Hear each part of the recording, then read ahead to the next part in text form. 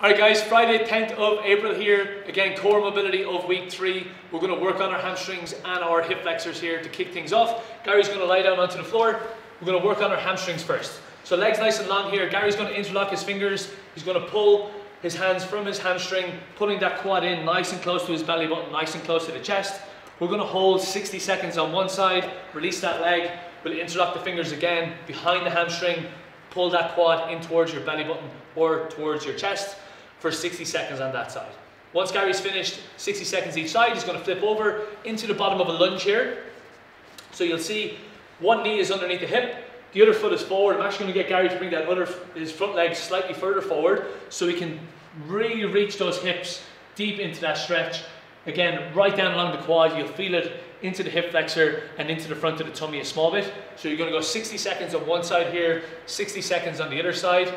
From this position then we're going to spin around and we're going to go for that kneeling groin stretch. So again, Gary's going to hop over onto all fours. He's going to extend his left leg out to the side here. You'll feel a stretch from inside uh, the hip the whole way down to the inside of the knee. If you want to feel a deeper stretch, you're going to sit your hips further back towards that heel that's on the ground. Again, if you want a deeper stretch again, you're now going to drop your elbows down to the floor.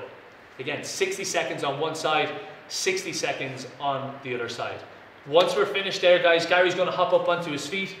We're going to work on stretching both hamstrings and both quads at the same time over the next two stretches. Gary's going to set himself up here against the wall. So what he's going to do to kick things off, he's going to go heel to wall here.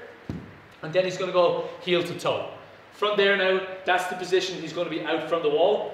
Bum stays in contact, legs stay long. Again, he's going to use that upper body to, uh, for his weight to fall forward to get that stretch into the hamstrings.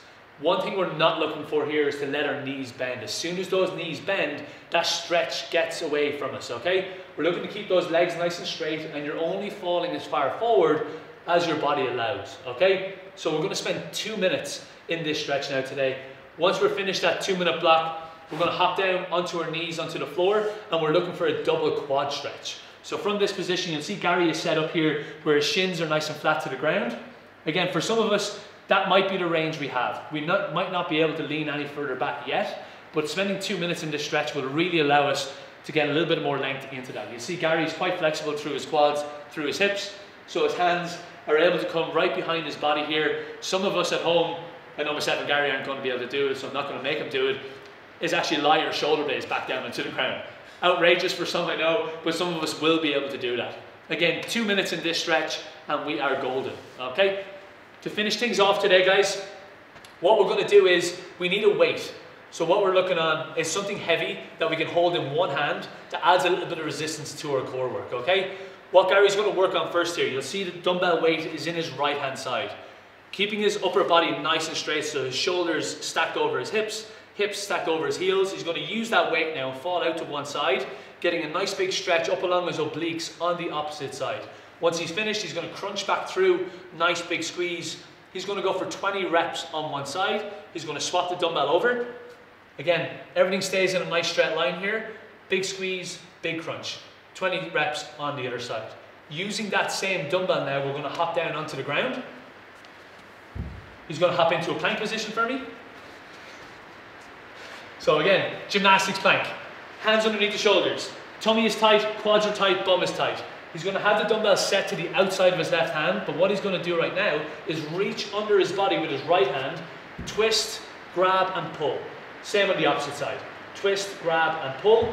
20 reps there, and he is good. And once he's done there, guys, dumbbell is pushed away to one side. Gary's going to pop back into this plank position now. Again, squeezing everything super, super tight. Our main focus on our core block today is hitting the sides of our body. So you've got a muscle group here, your serratus and your obliques, that we're looking to get nice and strong. So from this position, Gary's going to lift his right knee up high and outside the outside, squeezing everything through his side here. That's two, that's three, opposite side, that's four, opposite side, that's five, one more for good luck, and six, and relax. Every single time we lift that knee up, guys, we're looking to crunch, make everything a little bit smaller, make sure we've got loads of tension. That is us for Friday, guys. That is us for the week. Happy mobility, happy core. Have a great week, guys. Peace and love.